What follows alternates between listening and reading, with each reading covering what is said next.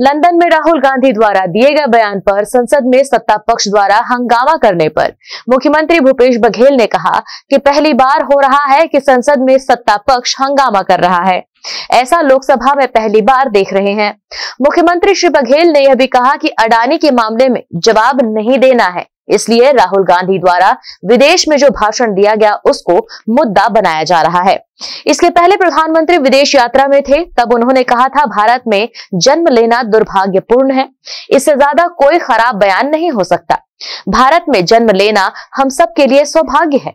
ये पहली बार हो रहा है लोकसभा में कि सत्ता पक्ष है, वो सदन नहीं चलने दे रहा पूरे एक सप्ताह से।